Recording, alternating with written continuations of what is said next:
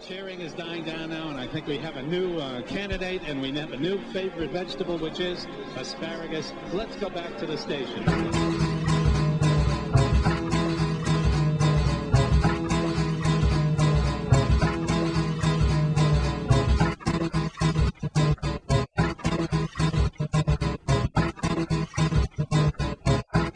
What is rock and roll?